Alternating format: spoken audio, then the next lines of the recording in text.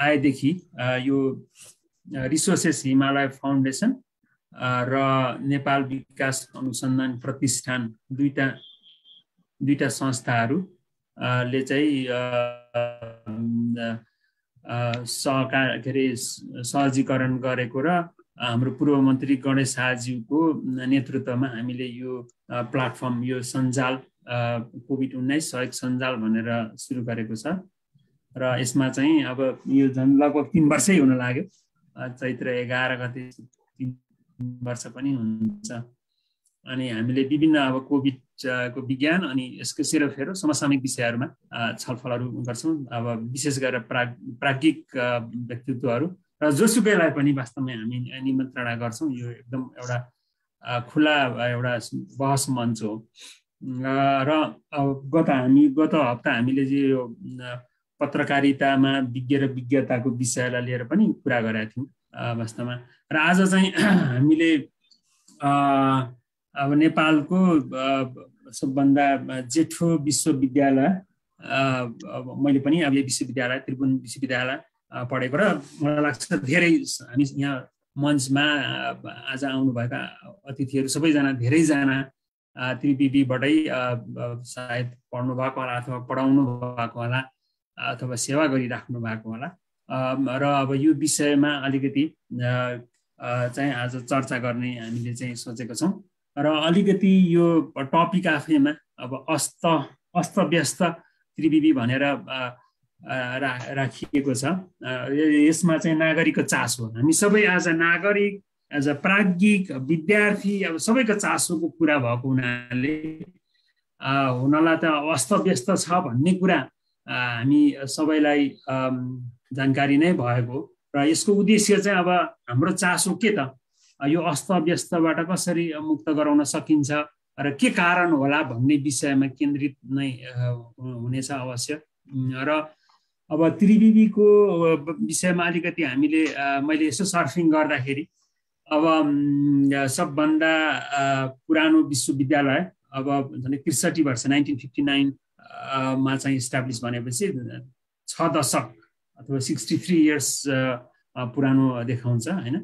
र वर्ल्डको largest twelfth largest university in the world भनेर लेखिया छ यो है अनि त्यस पछाडि college offers one thousand undergraduate र फाइभ हन्ड्रेड पोस्ट ग्रेजुएट प्रोग्राम्सहरू रन गर्ने भनेपछि एकदमै ठुलो भन्ने कुरा त स्वतै भइहाल्यो। र यसमा चाहिँ तिसवटा कन्स्टिट्युन्ट क्याम्पस र छ सयवटा एफिलिएटेड कलेज भनेर लेखेको छ। यसमा यो फ्री सर्फिङ हो। यसमा यसमा अपडेट पनि हुनसक्छ। यो यहाँहरूले नै हेर्नु होला र अब यस्तो पुरानो विश्वविद्यालय एकदम वर्ल्डमा नाम आउने।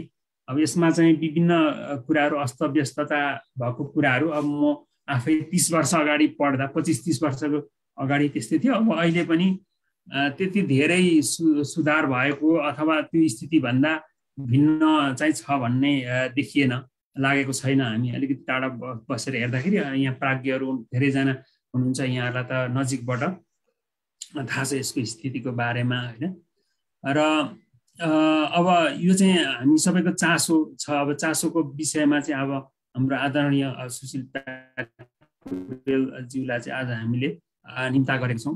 र सुशील प्याकुरेल सरको विषयमा अलिकति भन्नु पर्दाखेरि अब हामी चाहिँ उहाँलाई एउटा मानव अधिकारसँग जोडेर मानव अधिकारको एउटा अभियन्ता को रूपमा चाहिँ हामी उहाँलाई चाहिँ पर्याय बाचिकै रूपमा चाहिँ उहाँ सरलाई उहाँहरूको नाम चाहिँ चिनिन्छ। र उहाँ चाहिँ former commissioner of national human rights commission NHRC को चाहिँ हुनुहुन्छ फर्मर कमिसनर त्यस्तै गरेर human rights and political expert adviser to president of Nepal दुई हजार सोह्रदेखि दुई हजार उन्नाइससम्म चाहिँ राष्ट्रपति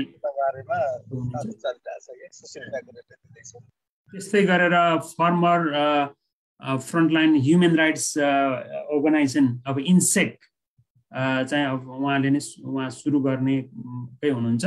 त्यस्तै गरेर अहिले वर्तमानमा चाहिँ is a executive committee member of South Asian for human rights SAA SAAHR र रिजनल ह्युमन राइट्स अर्गनाइजेसनमा चाहिँ अहिले आबद्ध हुनुहुन्छ. त्यसै गरी founder of first human rights organisation forum for protection of human rights nineteen eighty two king राजाकै पालादेखि चाहिँ अब सरले यो ह्युमन राइट्सको कुरा उठाउ उठाउँदै अहिलेसम्म पनि सशक्त।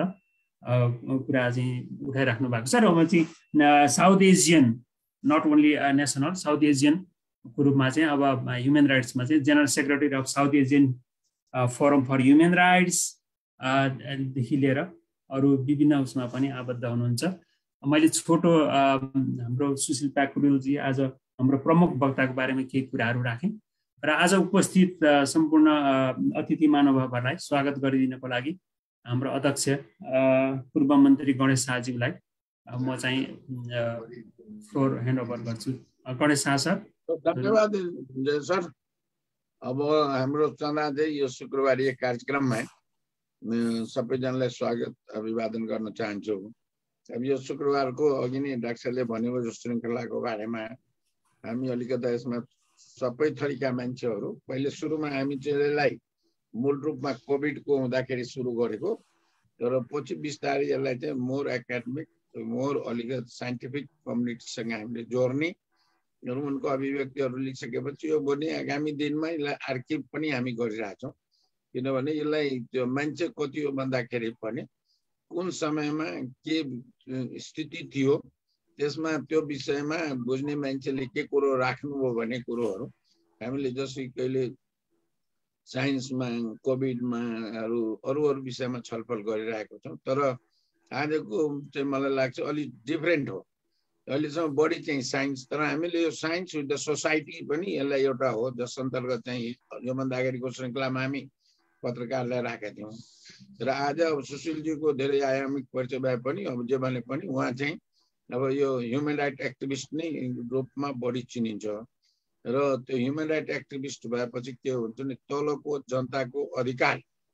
र त्यसमा पनि अहिले मैले उहाँ सुशीलजीलाई हेरेपछि अहिलेको संविधानले प्रदत्त गरेको दुई तिनवटा मौलिक अधिकारहरू छ शिक्षाको स्वास्थ्यको अब रोजगार सोजगार नदिए पनि शिक्षा स्वास्थ्य यिनीहरू चाहिँ त्यो हुँदाखेरि चाहिँ अब शिक्षा क्षेत्र चाहिँ अघि बिहानै पनि बिबिसीमा मैले सुन्ने थिएँ राधेश्यामजीको यो सङ्घीय संरचनामा शिक्षा कसरी होला? होइन? अब नेपालको यो युनिभर्सिटी शिक्षा खास गरेर हामी एउटा स्कुल एजुकेसनको कुरो भयो एउटा हायर एजुकेसनको कुरो भयो एउटा रिसर्चको कुरोहरू भयो एकाडेमियाको कुरो हुँदाखेरि पनि अब स्कुल एजुकेसनको बारे भन्दा पनि हामी चाहिँ बढी चाहिँ यो यो हायर एजुकेसन को जुन नेपालमा अहिले अस्तव्यस्तता छ त्यसमा नागरिकको सरोकार चासो किनभने एकतर्फबाट युनिभर्सिटिजहरूले एउटा आउँछन् म कहाँ कहिले काहीँ ए दाजु त्यो स्कुलले कति पैसा कमायो कि कति कमायो भन्छ? है? एउटा यो के भन्छ? के अरे एफिलेसन लिने त्यो एफिलेसन बेच्ने जस्तो पनि हुने। कुनै चाहिँ यो युनिभर्सिटीको परीक्षा जहाँ समयमा हुँदैन त्यहाँ नजाने यो युनिभर्सिटीमा छ। अनि युनिभर्सिटीभित्रको जुन अस्तव्यस्तताले चाहिँ आम नागरिकको चासो चाहिँ डे बाई डे चाहिँ विकसित भइरहेछ र हामी यसलाई म हाम्रो यो टिमले चाहिँ मलाई लाग्छ तिन चारवटा चाहिँ पाँचवटा हामीले गराइसकेका छौँ यो विषयमा अन्तर्क्रियात्मकहरू कि यसलाई कसरी चाहिँ तोर्यो नागरिकको चासोले नागरिकको दबावले अब भोलि पर्सि हाम्रो युनिभर्सिटीभित्रको स्टुडेन्ट युनियनलाई हामी कुन रूपमा हेर्ने टिचर्सहरूको प्राध्यापकहरूको सङ्गठनले कसरी हेर्ने पार्टी यो विश्वविद्यालयहरूलाई अंशबन्ड राजनीतिक अंशबन्डाकै रूपमा चलाउने अब धेरै विषयवस्तुहरू छन् जसमा कि केही चाहिँ व्यक्तिहरूको अभिव्यक्ति केही रेडिकल हुन्छ केही चाहिँ मध्यमार्गी हुन्छ केही चाहिँ अब ह्याङओभर भन्छु मैले त्यसलाई किनभने ह्याङओभर भनेको होइन यसै गरी चल्या छ भनेर भने त्यसलाई मैले त्यो छ। यो सबै विषयवस्तुमा चाहिँ मलाई आज सुशील प्याक्रेलजीले प्रकाश पार्नुहुन्छ त्यसैले उहाँलाई अब मैले अघि नै अनौपचारिकमा भन्दै थिएँ राष्ट्रपतिको कार्यालयबाट माथिबाट पनि हेरेको तलको मानव अधिकारको बाट पनि आम जनताको गुनासो त्यहाँ आउँदाखेरि सुनेको र त्यस्तो व्यक्तिको चाहिँ आज चाहिँ दुइटै पर्सपेक्टिभबाट कुरा सुन्न पाइन्छ। के भन्छ अब हामी इन्जिनियरिङबाट भन्छौँ क्या फ्रन्ट भ्यू साइड भ्यू त्यो भ्यू जस्तै सुशील प्याक्रोजीले चाहिँ सबै थरीको भ्यू दिनुहुन्छ। त्यसैले उहाँले स्वागत अभिवादन गर्दै जसहरूले कार्यक्रम अगाडि बढाउन अनुरोध गर्छु। धन्यवाद। हस् धन्यवाद अध्यक्ष गणेशाज्यू अब हामी आजको वक्ता सुशील प्याकुरेल आदरणीय सुशील प्याकुरेलज्यूलाई आफ्नो प्रस्तुतिको लागि फ्लोर हस्तान्तरण गर्छु। सुशील सर।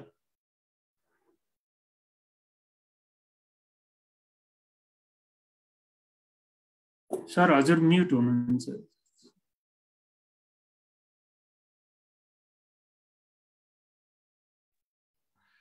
नमस्ते। म चाहिँ नि बोल्न पनि मलाई अलिकति हिचक जस्तो भइरहेछ। किनभने यस्तो विषयमा म बोल्ने धृष्टता गरिरहेको छु। नवराजीसित भेट हुँदाखेरि उहाँले चाहिँ हामी उहाँसित अब अचानक जम्का भेट जस्तो भयो। र त्यो हुँदाखेरि उहाँले सोध्नुभयो मलाई केमा इङ्गेज हुनुहुन्छ? भन्दाखेरि मैले अब कुरा गर्दा गर्दै केहीमा पनि छुइनँ सबै कुरामा छु भने जस्तो गरेँ मैले युनिभर्सिटीको कुरा उठाएँ। उठाउँदाखेरि त उहाँलाई के लाग्यो? उहाँले चाहिँ नि यो कुराहरू त हामी समूहमा गरौँ न भनेर भन्नुभयो र मलाई यसरी तपाईँहरूको एउटा विद्वत समुदायभित्र मैले आफूलाई चाहिँ नि हाम्रो मधेसतिर म त गाउँको मान्छे हुँ। जन्मिएको हुर्केको उतै हो सप्तरीको गोविन्दपुर भन्ने गाउँमा। अनि हाम्रो चाहिँ नि एउटा शब्द छ क्या ढेलफोडुवा भनेर। ढेलफोडुवा भने के कस्तो भने त्यसको लागि सबभन्दा कम स्किल हलो जोत्ने त्यो चाहिँ चौकी लगाउने दौनी गर्ने भन्छन् विभिन्न। त्यसमा पनि सबभन्दा स्किल नचाहिने चाहिँ नि यो त्यो डल्ला फुटाउने। अब यहाँहरूको अघिल्तिर चाहिँ नि म चाहिँ त्यो त्यो स्थितिको भएको हुनाले तर कुरा चाहिँ के गर्न खोज्दै धृष्टता गर्न मैले खोज्दैछु भने अब विश्वविद्यालयको तहस नहस विश्वविद्यालय छ के गर्ने होला भनेर त्यहाँ चाहिँ छलफल गर्ने मैले। चाहिँ नि अब यो किसिमले धृष्टता हो। अब तर म चाहिँ के भन्छु भने मलाई लागेको कुरो एज ए सिटिजन एउटा नागरिक र नागरिक पनि अब अलि लामै समय बिताइसकेको र त्यसपछि नेपालको विकासको लागि त्यो डेमोक्रेटिक डेभलपमेन्ट भन्नुहोस् र अरू सोसियल डेभलपमेन्टहरूको लागि चाहिँ नि केही न केही भूमिका चाहिँ नि निर्वाह गर्नुपर्छ भनेर लागिरहेको हुनाले यो धृष्टता चाहिँ नि गर्ने मैले चाहिँ नि गरे हो। अब आजको विषयको कुरै गर्ने हो भने हामीले विश्वविद्यालयको मैले धेरै कुरो भन्नु पर्दैन। अघि नै पनि सुरुमै हामी सबै नेपालका अहिलेको एउटा बौद्धिक समुदाय भन्ने चाहिँ सबै त्रिभुवन विश्वविद्यालयकै चाहिँ प्रडक्ट हो। अलमोस्ट र त्यो प्रडक्ट अहिले अरू विभिन्न विश्वविद्यालयहरू खुले पनि र त्यसपछि चाहिँ फेरि अहिले विभिन्न विदेशमा गएर विज्ञता हासिल गरेर फर्केका मान्छेहरू पनि उहाँहरूले आफूलाई परिचय दिँदाखेरि विश्वविद्यालय त्रिभुवन विश्वविद्यालयको नाम लिने नलिने एउटा कुरा हो। तर उहाँहरू कतै न कतै त्रिभुवन विश्वविद्यालयबाट जोडिएको स्थिति छ। अधिकांश मैले भन्न खोजेको एराउन्ड नाइन्टी नाइन पर्सेन्टै होला। अहिले विभिन्न विश्वविद्यालय यदि राम्रो कुनै चाहिँ शिक्षण संस्था छ भने त्यहाँ पढाउनेहरू पनि त्रिभुवन विश्वविद्यालयको प्रडक्ट कुनै न कुनै बेला हुनुहुन्थ्यो होला। हुनुहुन्छ।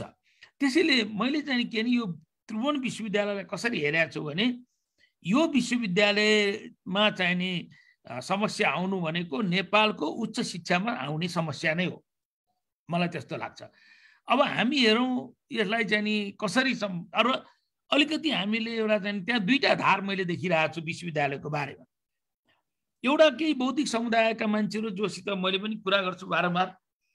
उहाँहरू के भन्नुहुन्छ होइन अब यो विश्वविद्यालयलाई चाहिँ नि अब चाहिँ नि यसलाई सम्हाल्न सकिँदैन।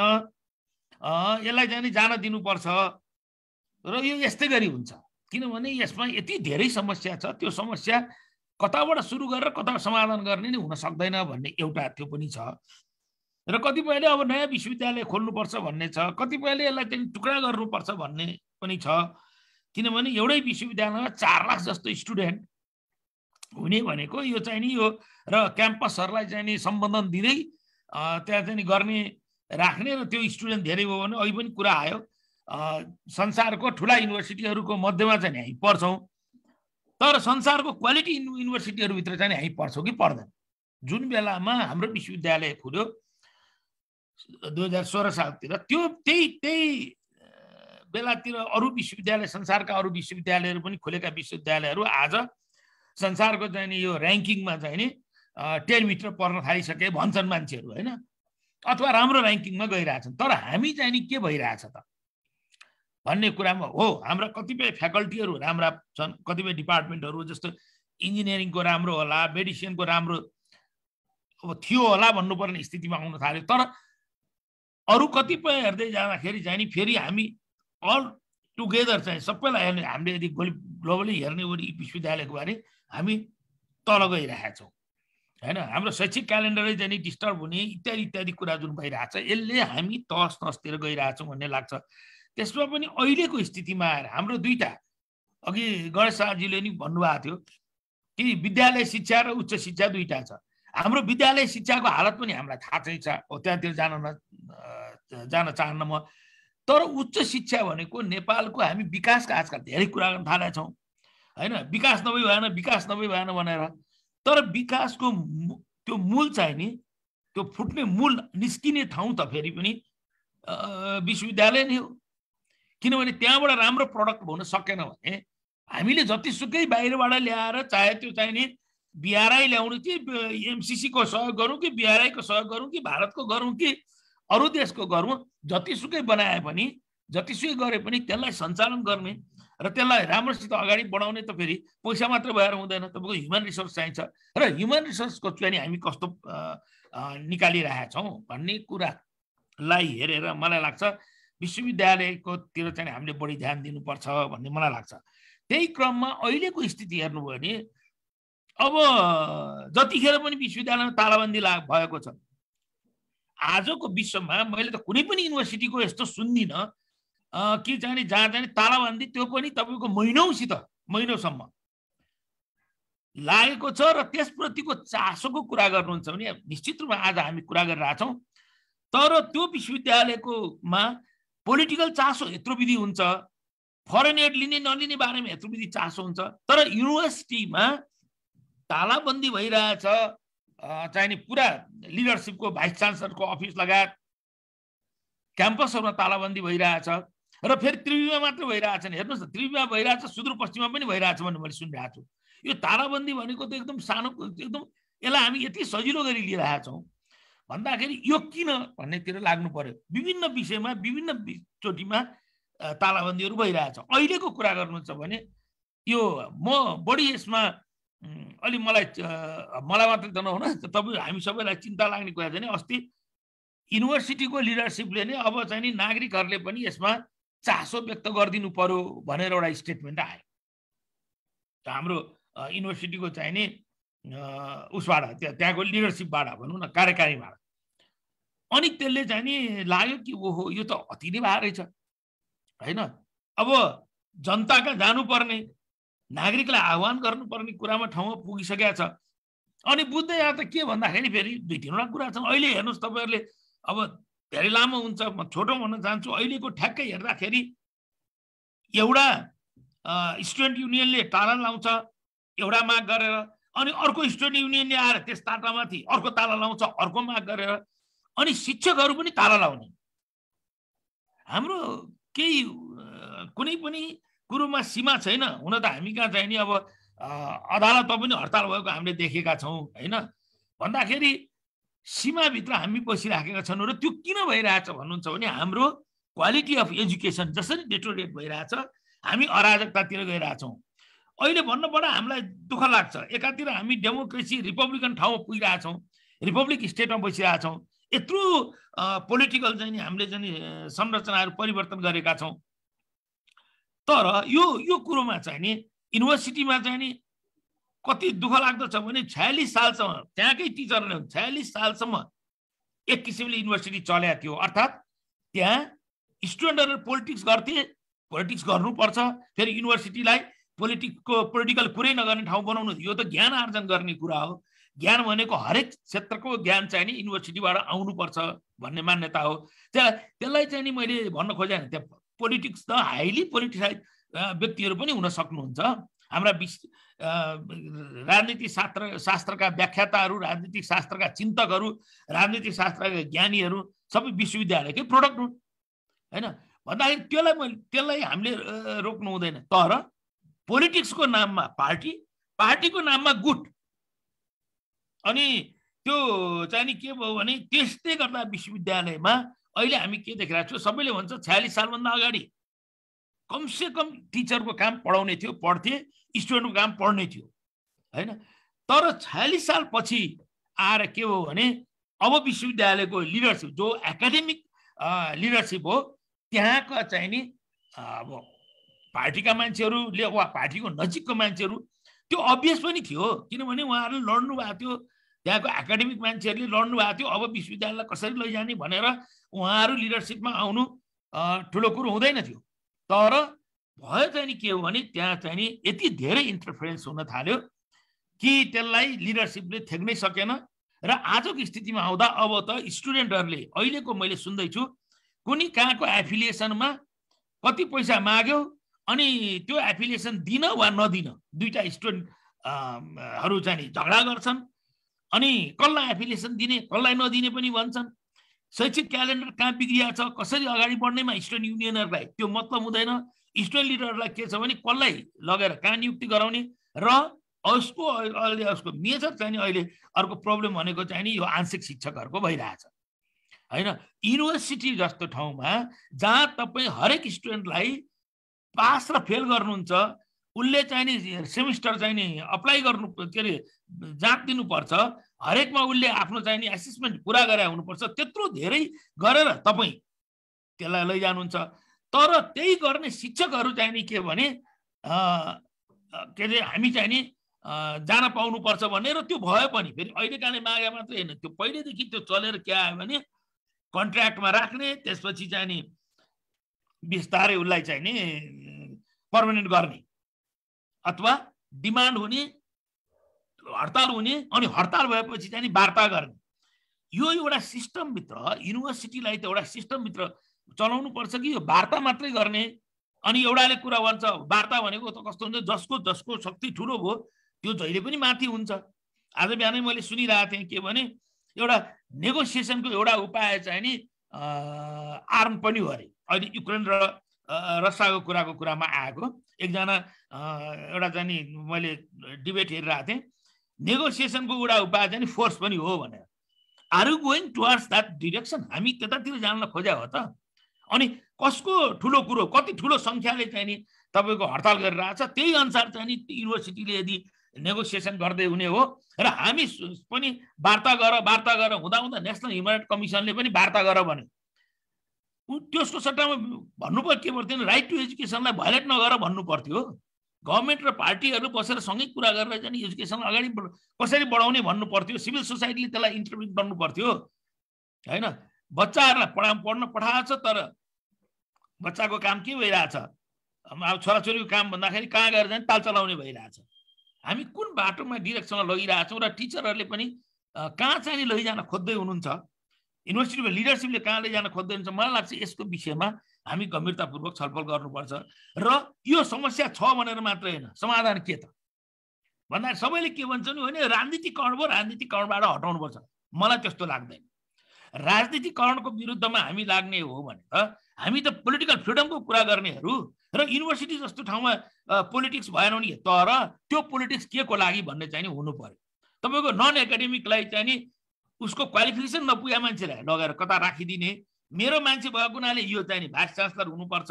मेरो मान्छे हुना हुनाले रेक्टर हुनुपर्छ। अनि हुँदा हुँदा पार्टीहरूको आफ्नो ब्यालेन्स जुन भोटमा जसरी ल्याएका छन् र पार्लियामेन्टमा उनीहरूको जस्तो उपस्थिति छ त्यो अनुसार युनिभर्सिटीको प पदाधिकारीहरू भाग लाउने तर तपाईँहरू सोच्नुहोस् हामी यहाँ यतिजना बसेका छौँ। हामी सोचौँ त अनि गभर्मेन्ट जसको रुलिङको छ जस्तोको छ त्यसले चाहिँ यति पाउने अनि अपोजिसनले यो पाउने हुँदा हुँदा युनिभर्सिटी पनि भाग लाउने अनि युनिभर्सिटीका पदाधिकारीहरू पनि भाग लाउने। ल भाइस चान्सलर तपाईँको भयो रजिस्ट्रार मेरो भयो रेक्टर मेरो भयो भनेर भनेपछि अनि तपाईँको चाहिँ नि हामीले राजनीतिकरण भयो राजनीतिकरण भयो भनेर हामीले कराएर मात्र त हुँदैन भइ त राखेको छ। अनि त्यसपछि पनि हामीलाई थाहा छ पार्टीभित्र पनि भित्र पनि विभिन्न गुटहरू छन्। स्टुडेन्ट युनियनभित्र पनि त्यस्तै पार्टी अनुसारको गुटहरू पनि भएका छन्। अब त्यसभित्र पनि फेरि त्यसभित्र पनि फलानु समूहको मान्छे आयो कि फलानु समूहको मान्छे? उनीहरू त्यहाँ पढाउन आउने हो कि युनिभर्सिटीलाई अगाडि बढाउन आउने हो कि उनीहरू उनीहरूको पार्टीको र आफूले आफूलाई पठाउने नेता भन्नुहोस् वा चाहिँ जो भन्नुहोस् त्यसको इन्ट्रेस्टमा आउने। त्यसैले मलाई लाग्छ युनिभर्सिटीका दुईवटा बाटोमा म अब सिद्ध्याउँदैछु युनिभर्सिटीका दुईवटा चाहिने बाटो त्यो एउटा चाहिँ नि अहिले आएको समस्या समाधान जस्तो अहिले किन तालदाबन्दी भइरहेछ त्यहाँ युनिभर्सिटी कहाँ उभिनुपर्छ? हामीले भन्न सक्नु पर्यो वार्ता गर भनेर ल हिजोदेखि चाहिँ भएकाहरूलाई फेरि एकचोटि लैजाने हो कि? होइन? वा चाहिँ नगर्ने हो कि? अर्को के गर्ने हो कि? विश्वविद्यालय सेवा आयोगको काम के हो? यदि विश्वविद्यालय सेवा आयोग नै नराख्ने हो कि? ठिक छ। त्यो के गर्ने हो त्यो पनि एउटा गर्नु पर्यो। दोस्रो कुरो चाहिँ नि के हो भने मलाई लाग्छ त्यो महत्त्वपूर्ण कुरो हाम्रो सबभन्दा यो हुने समस्या चाहिँ नि जवाबदेहिता एकाउन्टेबिलिटीको केही पनि कुरा छैन। तपाईँ भाइस चान्सलर हुनुहुन्छ अनि तपाईँलाई नियुक्ति गरेर चान्सलरले चान्सलर प्राइम मिनिस्टरलाई राखिदिएका छौँ हामीले हुँदा हुँदा पहिले त हेड अफ द स्टेट हुन्थ्यो चाहिँ नि पहिले राजाको बेलामा अब भन्दाखेरि अलि लेस पोलिटिकल हुन्छ भन्ने कुरा भन्थ्यो हुन त पञ्चायतमा थियो सबै कुरो गर्थे। तर पनि पछि आएर हामीले त बासठी त्रिसठीको आन्दोलनपछि त जब हामी गणतन्त्रतिर जाने भएपछि हामीले फेरि त्यसैलाई त्यही लिएसीलाई लियौँ। हामीले युनिभर्सिटी कसरी रिफर्म गर्ने भन्नेतिर गएनौँ। हामीले के गर्ने प्राइम मिनिस्टरलाई हेर्नु। Prime minister self very political चाहिने पोस्ट भेरी पोलिटिकल पर्सन मात्रै प्राइम मिनिस्टर हुनसक्छ ऊ त कुनै पार्टीको चाहिने बाड आइराखेको हुन्छ। अनि जब प्राइम मिनिस्टर हुन थालेपछि त चान्सलर जब प्राइम मिनिस्टर हुन थालेपछि त अनि पोलिटिक्स र पार्टी पोलिटिक्स त त्यहाँभित्र छिर्छ छिर्छ नि। पोलिटिक्स मात्र छिर्दैन it come with the party. Ideology त छिर्ने होइन आइडियोलोजी मात्रै आउने होइन। त्यो त पार्टीको कुरा लिएर आउँछ अनि पार्टीको लागि कसरी हित गर्ने अनि पार्टीका स्टुडेन्ट विङ्गरलाई कसरी चाहिँ सपोर्ट गर्ने। भनेपछि त्यो कुरामा चाहिँ नि लाग्ने भएको हुनाले मलाई चाहिँ नि लाग्यो यहाँहरूलाई मेरो त्यो त्यस्तो विद्वत्व पनि छैन तर नेपालको कन्टेस्टमा हेर्नुहुन्छ र हामी कहाँ जहिले पनि स्ट्याबिलिटी हेर्नुहोस् त दुई हजार सत्र सालदेखि आजसम्म कुनै पनि गभर्मेन्टले फुल चाहिने टर्म चाहिने काम गरेको छैन। अब यो त हाम्रो फेथ यही नै छ तर यसैबाट हामी कसरी अगाडि बढ्ने? भएन मात्र त भनेर हुँदैन। भन्दाखेरि आजको स्थितिमा हामीले होल टियुको वा युनिभर्सिटीहरूको रिस्ट्रक्चरिङको कुरा गर्ने कि नगर्ने? त्यो बेला भयो कि भएन? एकाउन्टेबिलिटीको कुरा गर्ने कि नगर्ने? युनिभर्सिटीमा बसेका जो मे जो चाहिँ बसेका चाहिने मान्छेहरू छन् लिडरसिप छ उसको एकाउन्टेबिलिटीको कुरा गर्ने कि नगर्ने? आज शेरबहादुर हिजो केपी ओली के एउटा कुरो भयो? आज शेरबहादुर छन् अर्को कुरो हुन्छ। After few month probably you will be going or again coming तर अर्कै कुरा लिएर आउँछ। आज एउटा गठबन्धन छ हिजो अर्को थियो। हिजो एउटाको मान्छे ल्याएर राखेको छ आज अर्कोको मान्छे ल्याएर राखेको छ। अब यो हुन थालेपछि युनिभर्सिटीको स्वायत्तता खोइ त। त्यसलाई युनिभर्सिटीलाई स्वायत्त रूपमा हिँड्न जाने भने लिडरसिप एकाउन्टेबल बनाउनु पर्यो र त्यसको लागि चाहिँ अर्को व्यवस्था के के हामी ट्रस्टीहरू राख्न सक्दैनौँ। नेपालमा दिग्गज शिक्षाको बारेमा दिग्गज एकदम व्यक्तित्वहरू हुनुहुन्छ। एकदम विज्ञ व्यक्ति हुनुहुन्छ। हिजोका भाइस चान्सलर पनि कतिपय होलान्। होइन? यत्रो विधि युनिभर्सिटीहरू छ।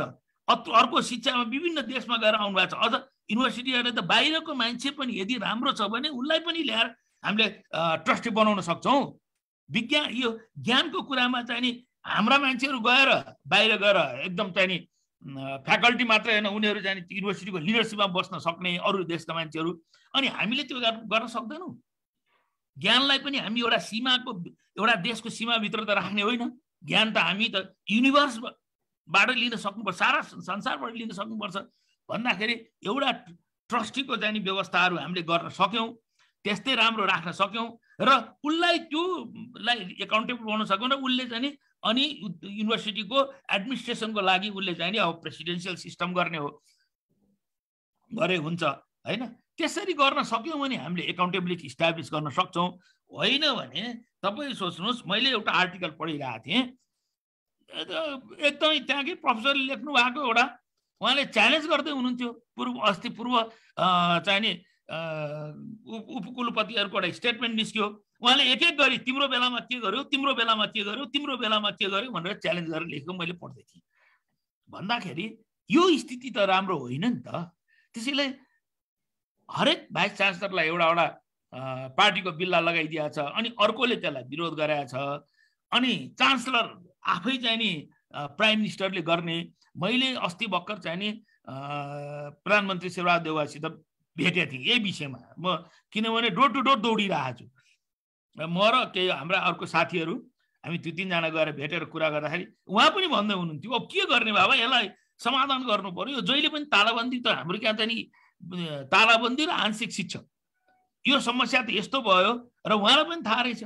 अब कहाँ कहाँ चाहिँ सम्बोधन दिने कि नदिने भने पनि स्टुडेन्टहरू चाहिँ अगाडि बढ्न आउन थाले। यो नराम्रो भयो राम्रो भएन कसरी गर्ने भन्दै हुनुहुन्थ्यो। मैले भन्नु कुरा चिन्ता चाहिँ छ तर वे आउट चाहिँ नलिने वा त्यसलाई चाहिँ धेरै मतलब नगर्ने। त्यो मतलब गर्ने हाम्रो पोलिटिकल मास्टर्सहरूलाई चाहिँ नि यो एजुकेसन भएन मात्रै भनेर हुँदैन नि। हाम्रा यति मान्छे बाहिर गइरहेछन् यति पैसा बाहिर गइरहेछ भनेर त हुँदैन। मान्छेले सबैले बेटर एजुकेसन लिन खोज्छन् होइन? त्यसैले यहाँ चाहिँ के एक त गरिबहरू वा नसक्नेहरू बढी बस्ने अनि उनीहरूको पनि क्वालिटी झन् बिगार्ने हो भने यो देश रुल कसले गर्छ त पछि गएर हामी हेरौँ त अब गणेशजी जस्तो मान्छेहरू मान्छे हुनुहुन्छ जो प्रो पिपुल पिपुलको लागि लडिरहनु भएको छ। होइन? उहाँलाई धेरै लामो समयदेखि म चिन्छु। नभए अब यी सबै अरू सबै त्यहाँ यहाँ जो आउनु भएको छ सबै हामी सोचिरहेछौँ र हामी दिमाग मुक्त गरेर कुरा गरौँ र दुईवटा विषयमा हामीले चाहिँ छलफल गरौँ भन्ने मलाई लाग्छ। एउटा अल्पकालमा हामी के गर्न सक्छौँ त्यो पनि एउटा रुल बेस्ड हुनु पर्यो। होइन? कम्प्रोमाइज गर्ने नाममा रुललाई चाहिँ त्यो त्यो फ्यालेर इन्स्टिट्युसनहरूलाई कमजोर बनाउने गरी गर्नु भएन। अर्को कुरो अलि लङ टर्ममा चाहिँ यसको स्ट्रक्चरै हामी चेन्ज गर्न सक्छौँ कि सक्दैनौँ? एकाउन्टेबिलिटी हरेक लेभलमा एकाउन्टेबिलिटी इस्टाब्लिस गर्न सक्छौँ कि सक्दैनौँ? स्टुडेन्ट फेल हुन्छ राम्रो क्वालिटी छैन भने who is responsible who should be held responsible भन्ने कुरा हामी गर्न सक्छौँ कि सक्दैनौँ?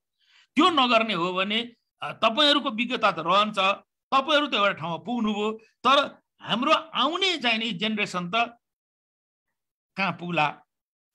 हामी चाहिँ उही अनस्किल्ड लेबर चाहिँ नि एक्सपोर्ट गर्ने मुलुक मात्रै भएर बस्ने हो भने पनि त्यो पनि सम्भव छैन। अहिले कोभिडले त हामीलाई धेरै लेसनहरू सिकाएको छ। हस् मैले समय कति लिएँ? मलाई माफ गरिदिनु होला। मैले अति अलिक अलिक ओभर स्टेपिङ गरेको भए। मेरो कुरा यति नै हो। तर let's be involve in this issue हस् हस्। सुशील प्याकुरेल सर अब हामी बाँकी समयमा केही छलफलहरू गरौँ। सरले एकदमै हाम्रो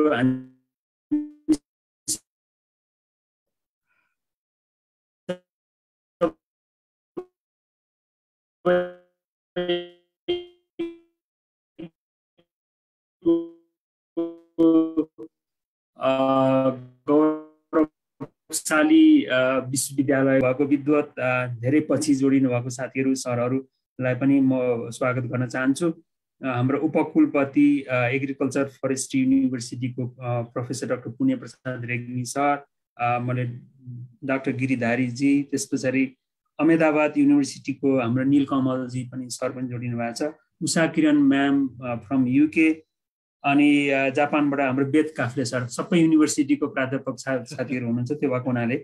यो एउटा रोचक विषय यहाँहरू पनि सहभागिता भइराखेकोले म के बुझ्छु भने हामी सबैको चासो हो र यसलाई समाधानको खोजीमा छौँ भन्ने कुरा चाहिँ प्रश्न देखिन्छ। डक्टर नवराज खतिवडा सरले हात उठाउनु भएको छ। सरको छोटो प्रश्नको लागि अनुरोध गर्छु। सबैजनालाई मेरो नमस्कार। जय सर मैले बोलेको सुनिन्छ? सुनिन्छ सुनिन्छ सर। म नेपाल विकास अनुसन्धान प्रतिष्ठानको हाम्रो यो सभा कक्षबाट बोलिरहेको छु र हाम्रो यहाँ हाइब्रिड मोडको सुविधा छ त्यो त्यसलाई प्रयोग गरिरहेको छु। र मैले सबभन्दा पहिलो चाहिँ आदरणीय सुशील प्याकुरेल सरलाई धेरै धेरै धन्यवाद। यो वास्तवमा यो बिरालोको घाँटीमा घन्टी कसले चाहिँ बजाउने अथवा घन्टी कसले राख्ने भन्ने कुराको हाम्रो जुन उखान छ त्यो गरेर चाहिँ नि सुशील प्याकवेल सरले किता काट गरिदिनु भयो। भनेको मतलब यो विषयमा बहस गर्ने छलफल गर्ने र यो विषयलाई उठान गर्ने एउटा चाहिँ जुन हाम्रो उठान गर्ने र नगर्नेको कितामा उठान गर्नेमा सरले आफूलाई राख्नु भएको छ। त्यो किता काट गर्नुभएको छ सरलाई धेरै धेरै धन्यवाद। र यसमा सरले इन्ट्रेस्ट देखाइदिनु भयो र यो आजको कार्यक्रम हाम्रो भयो पनि। र सबैभन्दा पहिलो कुरा चाहिँ म अब यो अति नै भइसक्यो। यो अति भयो। कारण यहाँ जति साथीहरू उपस्थित हुनुहुन्छ आज म लगायत यहाँहरू सबैलाई म एउटा सङ्कल्प यहाँले सङ्कल्प एउटा के गर्नुहोस् भने तपाईँको पालामा चाहिँ यस्तो हुँदैन। तपाईँ कुनै दिन उपकुलपति हुनुभयो अथवा तपाईँ कुलपति हुनुभयो हाम्रो आदरणीय शाह सर हुनुहुन्छ उहाँको कुलपति हुने धेरै सम्भावना छ। प्रधानमन्त्री हुनु होला गणेश सर अथवा अरू कोही हाम्रो चाहिँ यहाँ हुनु होला तपाईँहरूको पालामा यो हुँदैन होइन? र यदि भयो भने हामीले यस्तो बस गर्नु पर्यो तपाईँ उपकुलपति हुनुहुन्छ हामीले यस्तो बस गर्नु पर्यो भने त्यो सुनेकै दिनमा तपाईँ राजीनामा गरिहाल्नुहोस् छोडिदिनुहोस्। तपाईँ त्यो कुर्सीमा बस्नुको कुनै पनि औचित्य छैन। किनभने तपाईँभन्दा काबिल मान्छे आउँछ त्यसले एउटा सम्भावना त्यो काबिल मान्छे तपाईँको चाहिँ ल्याउँछ तपाईँको राजीनामाले। त्यो कारणले गर्दा यो भइ भइ यो दुर्गति देखिदेखि होइन? यस्तो किसिमको तपाईँ एउटा गुणेउ मान्छे भएर तपाईँको एउटा चाहिँ तपाईँको सबैले आलोचना गरेर तपाईँ त्यो लिडरसिप पोजिसनमा बसिरहनुको कुनै अर्थ छैन। त्यस कारण तपाईँको त्यो चाहिँ तपाईँ दिइहाल्नुहोस्। तपाईँ यो प्रण गर्नुहोस्। यहाँहरू सबैलाई म पनि गर्छु यहाँहरू सबैलाई म निवेदन गर्छु। मेरो प्रश्न के छ भने सरलाई यो हाम्रो एउटा लिडरसिप स्पेक्ट्रम भन्छ हाम्रो नेतृत्वको वर्णक्रम। त्यसमा चाहिँ के भन्छ भने सबैभन्दा सबैभन्दा हजुरको त्यसको स्पेक्ट्रममा हाम्रो चाहिँ एउटा स्पेक्ट्रममा उत्तरपन्थी दक्षिणपन्थी हुन्छ। त्यो तपाईँको स्पेक्ट्रममा यहाँले हेर्नुभयो भने सबैभन्दा अटोक्रेटिक लिडर होइन? सबैभन्दा अटोक्रेटिक लिडर भनेको जस्तो हाम्रो सिपाहीको अथवा तपाईँको पुलिसको तपाईँले हेर्नुभयो भने त्यो अटोक्रेटिक हुन्छ।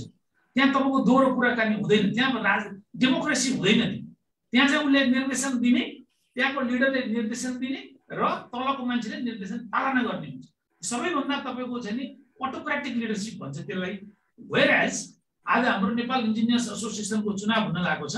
यो तपाईँको नेपाल इन्जिनियर्स एसोसिएसन जस्तो संस्था अथवा सरको कुनै मानव अधिकारको कुनै सङ्घ सङ्गठन छ भने त्यो चाहिँ लिडरसिप स्पेक्ट्रममा सबैभन्दा कमजोर लिडरसिप भयो। त्यहाँको सभापति भनेको त्यहाँको कार्यकारी भनेको सबैभन्दा कमजोर लिडर हो। किनभने उसँग पावरै हुँदैन।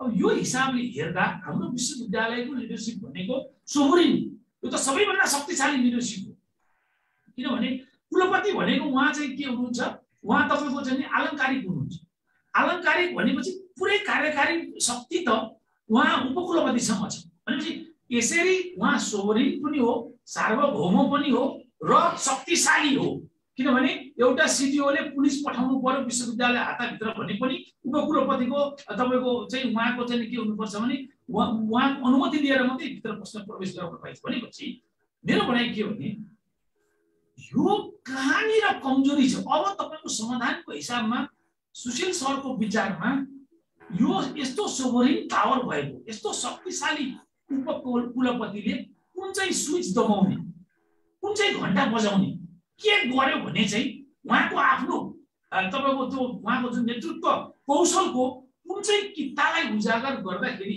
यो समस्याको समाधान हुन्छ। सम्भवतः यो हाम्रो उपकुलपतिज्यू हुनुहुन्छ। कृषि तथा वन विश्वविद्यालयको उहाँलाई पनि यो समस्या परेको छ। त्यस कारण त्यो एउटा शक्ति हामीले यस्तो खालको कार्यक्रमबाट उहाँहरूलाई कुन शक्ति दिँदाखेरि के दिँदाखेरि तपाईँको चाहिँ यो समस्याको समाधान हुने बाटोतिर जान्छ यो सूत्र एउटा बताइदिनु हुनको लागि म सुशील सरलाई हार्दिक अनुरोध गर्छु। हस् थ्याङ्क यू नवराज सर। अब एउटा एउटा प्रश्न पनि लिउँ।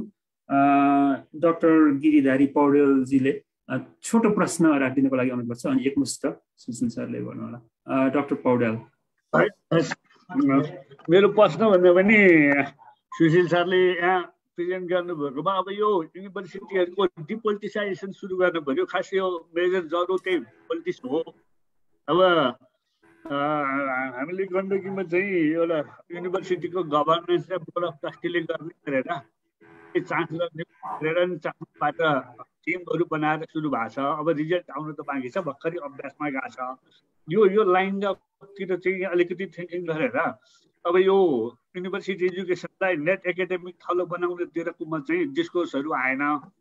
अब अबको चाहिँ डिस्कोर्स त्यतातिर जानुपर्ने हो कि जस्तो लाग्छ यसमा थप केही चाहिँ सुशीलजीले हाइलाइट गर्नु होला होस् मैले अहिले यति भने। Thank you doctor Paudel. Sushil sir हाम्रो डक्टर नवराज कतिवटा दिनेश भुजी सरले के सोध्न राख्नु राख्नु भएको सोध्न लाग्नु भएको ठिक छ। सुशील सर डक्टर खतिवडाको प्रश्नको उत्तर? हस् हस्। यो मलाई त प्रश्न भन्दा पनि खतिवडाले नि उत्तर चाहिँ नि दिइसक्नु भएको छ होइन?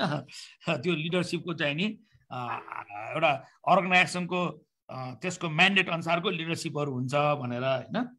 अब मेरो भनाइ चाहिँ नि के हो भने फेरि पनि युनिभर्सिटीको हामीले जसरी हेर्छौँ त्यो भनेको ज्ञान आर्जन गर्ने एकदम लिबरल ऊ भएको ठाउँ जस्तो जुनसुकै ज्ञानले पनि आर्जन गर्न पाउने होइन? जेसुकै पनि त्यहाँ छलफल हुन पाउने र यो इनोभेटिभ इनोभेसनहरू हुने यस्तो ठाउँ हो। त्यसैले यसको बारेमा कुरा गर्दा जस्तो अहिले गिदारी सरले पनि भन्नुभयो पोलिटिसाइजेसन भयो त्यसलाई डिपोलिटिसाइज भनौँ न अब गर्नु पर्यो भने। मलाई चाहिँ के लाग्छ भने नि फेरि पनि अहिले नवराजीकै कुरामा जान्छु। त्यो अर्गनाइजेसन अनुसारको चाहिँ नि हाम्रो लिडरसिप र त्यसको एकाउन्टेबिलिटीको सिस्टम हुनु पर्यो भन्ने मेरो पनि भन् फेरि पनि भनाइ छ। किनभने यो समस्या भनेको आज मात्रै देखिएको होइन। होइन? लगातार त हामीले देखिरहेका छौँ। के भन्छन् त्यहाँकै टिचरहरू पनि छयालिस सालदेखि बासठी त्रिसठी सालसम्म हिजो उसले गिरिराजमणि पोखरेलको पनि मैले हेरिरहेको थिएँ कोर्ट एउटा उसमा। जो पूर्व शिक्षा मन्त्री हुनुहुन्छ उहाँकै भनाइ के थियो भने छयालिस सालदेखि बासठीसम्म चाहिँ नि एउटा किसिमको प्रो प्रब्लम थियो जस्तो त्यहाँ चाहिँ नि पार्टीहरूको भागभन्डा यस्तो उस्तो किन त्यहाँदेखि नै हो नि त। चाहिँ एकदमै भागभन्डाको हाम्रो चाहिँ नि भनौँ न क्वालिसन गभर्मेन्टको सुरु हो मैले अहिले पनि भने। अनि त्यो गभर्मेन्ट बनाउने वा चाहिँ त्यो पार्टीको स्ट्रेन्थ चाहिँ नि जनताले भोट दिएको अनुसार स्ट्रेन्थ हुन्छ पार्लियामेन्टमा त्यो स्ट्रेन्थ अनुसार उसले त्यहाँ चाहिँ नि सिट पाउने भएको छ। तर बासठी त्रिसठी के भने स्टुडेन्ट युनियन हाबी हुन थाले धेरै।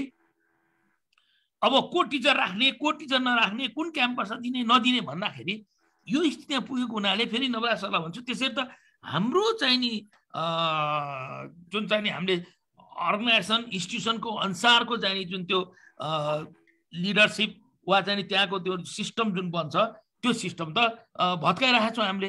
अब के गर्ने भन्दाखेरि फेरि पनि म अब यहाँ त कृषि विश्वविद्यालयको उपलब्धि हुनुहुन्छ। उहाँले कति भोग्नु भएको छ भन्ने कुरो मैले पनि अलिअलि सुनेको छु। होइन त्यो पनि एउटा ठुलो भइरहेछ समस्या भइरहेछ। भन्दाखेरि यो कुरालाई हामीले हेरेर एकाउन्टेबिलिटी सिस्टम चाहिँ कसरी गर्ने भने जस्तो गण्डकीमा एउटा सिस्टम गरियो होला। अब यो डिस्कसलाई चलाएर हामीले चाहिँ नि त्रिभुवन विश्वविद्यालयको कुरा हेर्दाखेरि ठुलो भयो तर त्यो ठुलोले क्वालिटी दिन सकेन। अनि जति ठुलो त्यति क्वालिटी नहुँदाखेरि त समाजलाई त यसले सबभन्दा धेरै असर पार्छ नि त। त्यसैलाई त्रिभुवन विश्वविद्यालयमा बढी फोकस गर्नुपर्ने कुरा त्यो र मलाई अहिले पनि के लाग्छ भने अहिलेको जस्तो चान्सलर अफकोर्स यस उहाँसित केही छैन भनेर तर he is the authority prime minister हो। नेपालको फेरि संविधानले हाम्रो त प्राइम मिनिस्टेरियल सिस्टम छ। होइन? सोभरेन पिपुलहरूको सबभन्दा बढी चाहिँ एक्जिक्युटिभ हेड त त्यो पद हो। अनि त्यहाँ हाम्रो चाहिँ नि तपाईँ सोध्नुहोस् न प्राइम मिनिस्टरहरूले भन्छन् उनीहरू पनि दबाबमा हुन्छन्। हामीले गिरिजाप्रसाद कोइरालादेखि अहिलेसम्म चारवटा पाँचवटा त चान्सलर त हामीले फेरिसक्यौँ नि। अनि भाइस चान्सलरहरू पनि आजको मात्रै होइन। यो हिजो पनि त्यही समस्या थियो अस्ति पनि त्यही समस्या। हो उहाँहरूले कम्प्रोमाइज गर्नुहुन्थ्यो। कसैले कम्प्रोमाइज गरेर चलाउनु भयो होला? कसैले अलिकति रिजिट पोजिसन लिइदिनु भयो होला? तर सिचुएसन त सबैले भएको। बेस्ड अन द्याट हामीले हेर्नु भने मलाई चाहिँ के लाग्छ भने होल युनिभर्सिटी त्रिभुवन विश्वविद्यालय भनौँ अरू पनि युनिभर्सिटीमा जस्तो गण्डकीमा एउटा सिस्टम ल्याउँदै हुनुहुन्छ नि लेसन लर्न तर त्यो रिजल्ट त आउनु बाँकी नै छ। त्यो कस्तो हुन्छ भन्ने थाहा छैन। तर पनि संसारभरिका पनि राम्रा युनिभर्सिटीहरू हेरेर उनीहरू कसरी चलेका छन्? कुनै छन् परम्परादेखि चाहिँ तपाईँको एउटा सेट भइसक्यो। होइन जस्तो विशेष गरी बेलायतमा। होइन यही सिस्टम चान्सलर भाइस चान्सलर भए पनि त्यहाँ एउटा सेट भइसक्यो। इन्डियामा पनि भइसकेको छ। तर कतिपय नयाँ युनिभर्सिटीहरूले त फेरि चाहिँ नि ट्रस्ट ट्रस्टीहरूको व्यवस्था पनि गरेका छ। होइन ट्रस्टसिपको व्यवस्था पनि गरेका छ। प्रेसिडेन्ट सिस्टम पनि गएको छ। हामी किन त्यतातिर छलफल गर्न सक्दैनौँ र? र युनिभर्सिटीमा चाहिँ नि धेरै क्याम्पसहरू उसले राख्ने हो कि? होइन? अनि त्यसले चाहिँ स्टुडेन्टको सङ्ख्या मात्रै बढाउने हो कि? कुनै बेला थियो। पढाइमा एकदमै ध्यान दिनुपर्ने सारा मान्छे नपढ्ने भएको हुनाले स्कुल खोलिदिने कलेज खोलिदिने युनिभर्सिटीकोले सम्बन्धन दिने अनि त्यहाँका मान्छेहरू कमसेकम पढ्न आउँछन् भन्ने कुरा थियो। आज त त्यो होइन अब त हामी पढाइ मात्र होइन क्वालिटी पढाइको कुरा गर्दैछौँ नि त। त्यसैलाई त्यहाँतिर पनि ध्यान दिनलाई फेरि पनि म के भन्छु भने हामी यहाँ भएकाहरूले अहिलेको समस्याको चाहिँ नि अल्पकाल र दीर्घकाल भन्दा दीर्घकालमा चाहिँ मलाई के लाग्छ भने होल सिस्टमभित्रै हामीहरूले चाहिँ नि गर्नुपर्छ। पोलिटिसाइजेसन कम गर्नु पर्यो हुनु भएन भनेर मात्रै त हुँदैन। हामी अस्ति पनि चर्चा चलाएको थियो कर्मचारीहरूमा अहिले कस्तो छ ब्युरोक्रेसी थाहा छ यहाँलाई तर त्यो कर्मचारी युनियन नराख्नु न त। भन्दाखेरि त्यो सम्भवै हुँदैन। होइन? कसैले पनि सकिरहेको छैन। किनभने पोलिटिकल हाम्रो सिस्टम पनि त्यस्तै छ। मैले अघि नै भने कुनै गभर्मेन्ट पनि कार्यकाल नजाने हामीले सिस्टम गरेका छौँ तर यही नै हो नि त हाम्रो सिस्टम अब यसैमा हामीले कसरी अगाडि बढ्ने भनेर मात्रै मैले मेरो भनाइ चाहिँ त्यो हो। म त त्यहाँतिर जानुपर्छ भन्ने मेरो चाहिँ नि दुईवटा भनाइ त थियो। एक दुईवटा प्रश्न अलिक भिन्न प्रकृतिको छ भने अझ राखिदिनु होला। प्रोफेसर डाक्टर सुरेन्द्र श्रेष्ठले हात उठाउनु भएको छ। र म अघि हाम्रो डाक्टर प्याक्रोले यो अरू विभिन्न ठाउँको पनि कुरा गर्नु हुँदाखेरि अब यहाँ doctor Ved Kafle Tokyo university हुनुहुन्छ उहाँले पनि छोटो त्यस्तो केही अब यो बहस सुरु हुँदैछ भने हामीले के तपाईँको पनि केही रिफ्लेक्सन? जस्तै अहमेदाबाद युनिभर्सिटीको डक्टर निलकमल सर उहाँले पनि केही त्यस्तो एकदमै अनलाइन त्यस्तो कुनै सूत्र नवरा सरले भन्नुभएको छ सूत्र छ भने त्यो बसमा हामी इन्कर्पोरेट गर्न सक्छौँ। सुरुमा प्रोफेसर डाक्टर सुरेन्द्र श्रेष्ठ सरलाई छोटो प्रश्नको लागि। पुनः नमस्कार सम्पूर्ण उपस्थितहरूमा र स्पेसियली सुशील सरलाई। र कतिपय कुराहरू त्यो जानकारी मैले यहाँबाट पनि पाएँ। हुन त म पनि त्रिवेणी अन्तर्गतै कलेजमा चाहिँ कार्यरत छु। विगत चौबिस वर्षदेखि। पनि अब कस्तो भन्दाखेरि मैले यहाँ चाहिँ नि सरसँग अलि डिबेटकै कुरा उसमा चाहिँ नि जाँदाखेरि सन्दर्भमा जाँदाखेरि अब कसैको चाहिँ नि एउटा ऊ भर्याङ चढेर चाहिँ नि माथि जाने अनि त्यसपछि त्यहाँ गएपछि म यो पनि होइन भन्ने त्यो पनि होइन भन्ने अथवा चाहिँ नि काम गर्दाखेरि एउटा स्वच्छ रूपमा चाहिँ नि काम गर्नु पर्यो अनि भन्दाखेरि फेरि म चाहिँ नि कसैकोबाट पनि आएको होइन भनेर भनेर यस्तो चाहिँ नि एउटा बौद्धिक वर्गले गर्न पनि नसुहाउने कुराहरू एउटा युनिभर्सिटीको लेभलमा त्यो पदाधिकारीहरूले त्यसरी गर्नु पनि त्यो कहाँसम्म चाहिँ नि जायज हो? र अर्को कुरा मेरो विशेष गरेर विश्वविद्यालय भन्दै गर्दाखेरि आज बिहान पनि दिनेश सरसँग अलिकति कुरा भएको थियो। छलफल के गफको सिलसिलामा कुरा गर्दै थिएँ मैले। विश्वविद्यालय भनेको विश्वको हो नेपालको मात्रै त होइन। नेपालले मात्रै भ्यालिड गर्ने त होइन।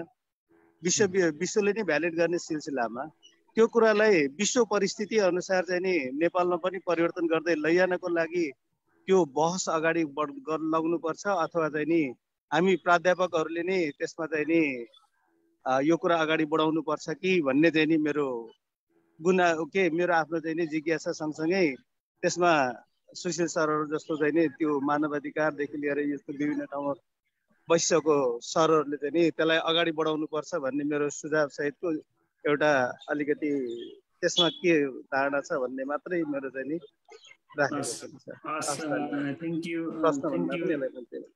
हस् धन्यवाद। डक्टर वेद केही कुरा राख्नुहुन्छ छोटो? डक्टर वेद काफले छ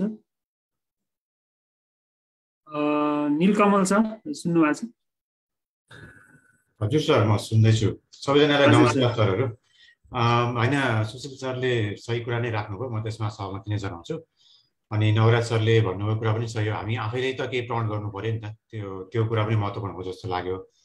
अनि सुरेन्द्र सरले जोड्नु भएको कुरो पनि सही अब हामीले आफूले चाहिँ कसरी आइरहेछौँ अनि एकाएक त्यो चेन्ज नहोला। त्यसो गर्दाखेरि मलाई चाहिँ दुईवटा कुरा यहाँ राखौँ जस्तो लाग्यो। एउटा चाहिँ म आफ्नो व्यक्तिगत तौरबाट म एउटा शिक्षण पेसामा लागेको छु भने म एउटा शिक्षकले चाहिँ कस्तो नजिर राखिरहेको छु? मेरो विद्यार्थीहरूलाई मैले कुन इम्प्रेसन दिइरहेको छु? मैले कुन कल्चर मेरो क्लासमा प्र्याक्टिस गरेको छु? त्यसले त विद्यार्थीले मलाई त मूल्याङ्कन गरिराखेको हुन्छ नि त।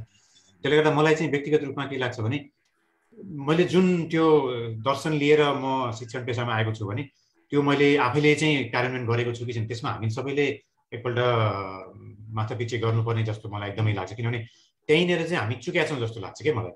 किनभने जब म मेरो एन्ट्री पोइन्ट पनि त्यसरी चुकेँ भनेदेखि त भोलि गएर म जस्तो म अहिले यहाँ एउटा यो एउटा सेन्टरको डाइरेक्टर हो म। तर म डाइरेक्टर हुँदा अगाडि त म जस्ट एसिस्टेन्ट प्रोफेसर मात्रै थिएँ। त्यतिखेरदेखि नै मैले एउटा कल्चर मेरो ट्र्याक बनाएको छैन भने त भोलि म लिडरसिप पोजिसनमा गएर काम गर्दाखेरि त रातारात त म परिवर्तन हुँदिनँ। अब म परिवर्तन भएको छैन भने मैले इन्स्टिच्युट कसरी हाँक्छु होला? भनेपछि त्यो आफ्नो फाउन्डेसन नै पहिले हेर्नु पऱ्यो भन्ने मलाई एकदम लाग्दैछ त्यो चाहिँ हामी सबैको एक एकजनाको दायित्व त्यहाँ एकदमै छ। र अर्को कुरो चाहिँ अब त्यो चाहिँ तलबाट आउने कुरा हो। अब माथिबाट आउने कुरा भन्दाखेरि चाहिँ अघि सरले उठाउनु भएको त्यो गभर्नेन्सको कुरा एकदमै महत्त्वपूर्ण हो। र म पनि सहमत छु नेपालमा हाम्रो अलिकति कुरो पहिलेदेखि नै बिग्रेको चाहिँ त्यही हो। त्यो चान्सलर अब कुलपति नै अब त्यो कुलपतिको ज्वरो नै त्यस्तो भइसकेपछि अब त्यसमा त्यो गाह्रो छ कि? त्यो त्यो चाहिँ गाह्रो नै हुन्छ। त्यस कारण अब गण्डकी विश्वविद्यालय सरले भन्नुभयो एउटा नयाँ मोडलमा आएको छ। त्यो त्यो बोर्ड अफ ट्रस्टिज त्यो चाहिँ ठिक हो जस्तो लाग्छ। अब यहाँ मैले अहमदाबाद युनिभर्सिटीबाट यो पनि नयाँ युनिभर्सिटी हो प्राइभेट हो। तर यहाँको अनुभव हेर्दा मलाई के लाग्यो भने त्यो बोर्ड अफ गभर्नर्स छ यहाँ चाहिँ। अनि त्यो बोर्ड अफ गभर्नेन्सबाट अब एकजना चान्सलर छ तर चान्सलर चाहिँ अब सेरेमोनियल जस्तो मात्रै चाहिँ उहाँले चाहिँ अब एउटा प्याटर्नको रूपमा गर्ने हो। तर अब एक्जिक्युटिभ हिसाबमा चाहिँ भाइस चान्सलरले गर्ने हो। त्यो त्यो अटोनोमी चाहिँ छ अनि त्यसलाई नै त्यो त्यो हेर्दा मलाई त्यो चाहिँ ठिकै लाग्छ लाग्यो। त्यो चान्सलर र त्यो बोर्ड अफ गभर्नेन्स अथवा बोर्ड अफ ट्रस्टी चाहिँ एउटा इन्डिपेन्डेन्टली फर्मुलेट गर्ने एउटा क्वालिफाइड मान्छेहरू संसार समाजको विभिन्न तबकाको मान्छेहरू राखेर त्यो त्यो खालको प्याट्रोन बडी बनाएर त्यो प्याट्रोन बडीले चाहिँ मोटामोटी मात्रै मार्गदर्शन गर्ने हो तर उनीहरूले चाहिँ सपोर्ट गर्ने हो। त्यो खालको गभर्नेन्स मोडलमा जाँदाखेरि चाहिँ मलाई लाग्छ हुन्छ होला। अनि अर्को चाहिँ एउटा मलाई यसमा थप्नु भने के लाग्यो भने हाम्रो त्रिवेणी विश्वविद्यालयमा अहिले सायद चेन्ज हुँदैछ क्यार अब त्यो चाहिँ के भन्छ निजामती कर्मचारी यहाँ बढुवा भए जस्तो अब हाम्रो एकाडेमिक लिडरसिप पनि त्यसरी आउने कन्सेप्ट चाहिँ अलिक छोड्नुपर्छ जस्तो लाग्छ। किनभने हाम्रोमा पनि त्यही हो। म पनि अब बाहिरबाट एकैपल्ट यहाँ आएको मान्छे हो। त्यसले गरेर हाम्रो पनि त्यो लिडरसिपमा चाहिँ अब खोजी खोजिकन राम्रो मान्छे ल्याउने प्रथा चाहिँ आउनुपर्छ जस्तो लाग्छ। हुन त अब न्युजमा देखिन्छ आउनु चाहिँ आएको छ तर आए पनि कुरो त फेरि म्यानुपुलेसन भएर चाहिँ गएको छ त्यो चाहिँ चेन्ज गर्नुपर्ने त्यही जस्तो लाग्छ सर मलाई। तर एकदमै महत्त्वपूर्ण कुरा हो सुशील सरले पनि कुरा राख्नुभयो यो छलफल चाहिँ अझै अगाडि बढोस् भन्ने मेरो चाहना चाहना छ सर।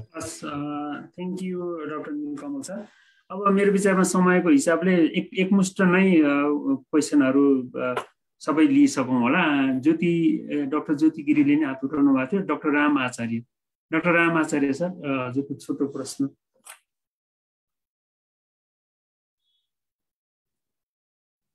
राम छ